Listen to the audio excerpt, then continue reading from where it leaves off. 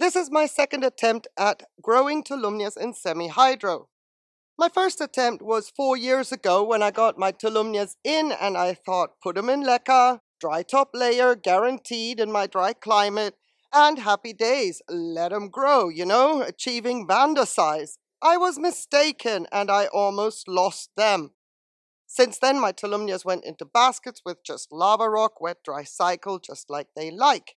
However, in the summer of 2022, I got the opportunity to try again with a very, very beautiful, big, lush Tolumnia pomegranate. And the second opportunity I got was the one that I called Carmen because I was trying to reposition her into her basket with lava rock. And I had difficulty doing that because the spikes were in the way. I didn't want to cut them off because, you know, let the orchid absorb the spikes. So into semi-hydro and lava rock. That one went simply because that one was already accustomed to lava rock. Meanwhile, things have happened, so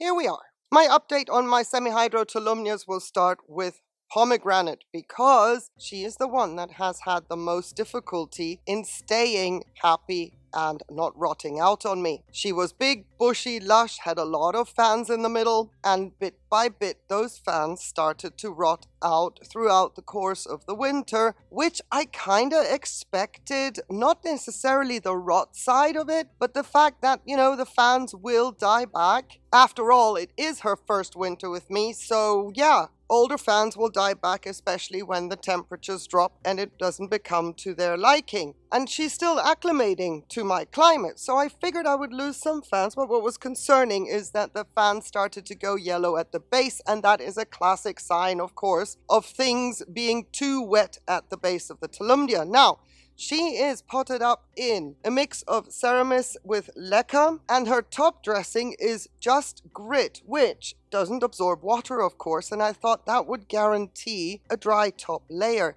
I was very, very wrong. When I water this orchid, the top is extremely wet, so enter December, January, I started to water her from the base and let the water absorb into the reservoir and not touch the top. However, with the wicking material inside the pot, there's a lot of wicking and eventually the water will rise to the top and then the top dry layer isn't that dry after all because the temperatures are too cold and there's not enough time to let the grit dry out between days and nights. So I lost quite a chunk out of the middle of my pomegranate.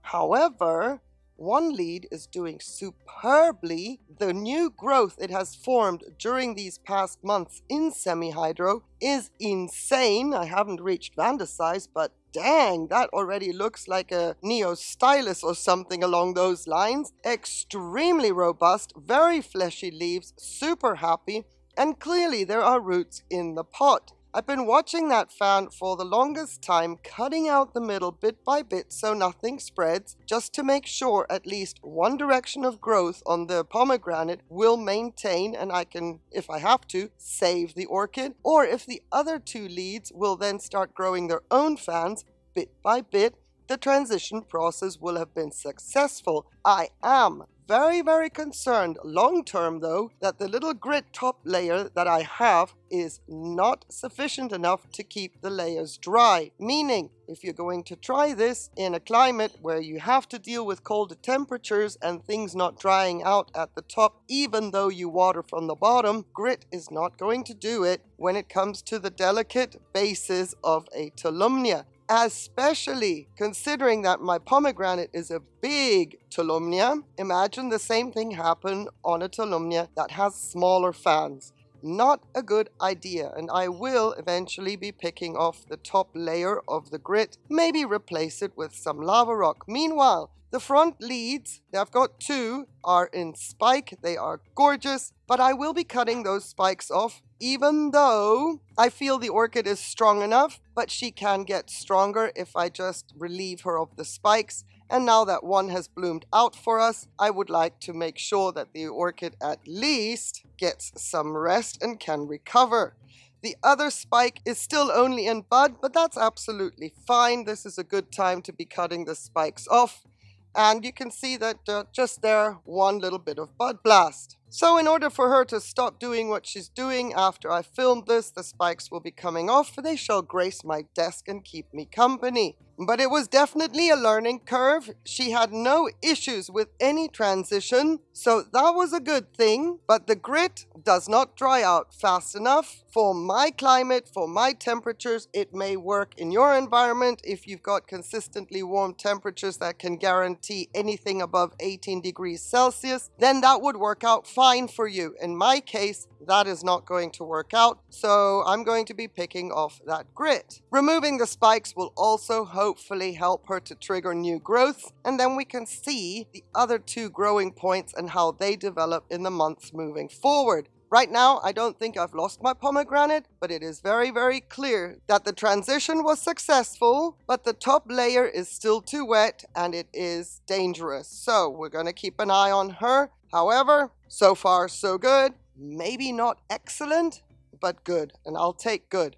Candidate number two, the next option I had to test out was Carmen. And Carmen came out of a basket with lava rock as mentioned and went into lava rock and semi-hydro straight away and I didn't think transitioning was going to be an issue at all because she is accustomed to the media and this orchid has been in my collection for the past four years. Now, if I could have put her back in her basket, we wouldn't have this example, but this actually has worked out in our favor because lava rock and semi-hydro, water retention, not wicking, but water retention, that's all we need. The roots will find their way and find the water. During the summer, it is easy to pour from the top because everything dries out. This one also only gets watered from the bottom up, as in soak the pot up to the drainage holes and just wait a little bit and that's it. Keep the base dry is the name of the game when it comes to Tolumnias and semi-hydro. Well, the lava rock has proven to be super duper effective and has not been wet around the base throughout the winter. I still don't have the spikes absorbed that were giving me issues when I tried to reposition her in the basket, but she is growing a fabulous new growth in the back and that has grown since she's been in this setup. And the front fan that has matured throughout the rest of the summer of 2022 is now blooming. And I am comfortable to keep those blooms intact. I have no intention of cutting that spike off because this orchid is doing great. Yes, she looks a little rough, a little bit ratty. That is because of scale damage in 2022. But in 2021, I had had enough of the mega orchid shuffle I do every year during the winter for four months, bringing orchids inside and outside, that during the spring of 21, I took her outside, I left them outside, and I didn't think much of it, and the temperatures dropped to 12 degrees Celsius, and boom, cold damage. So she's looking ratty on her old fans.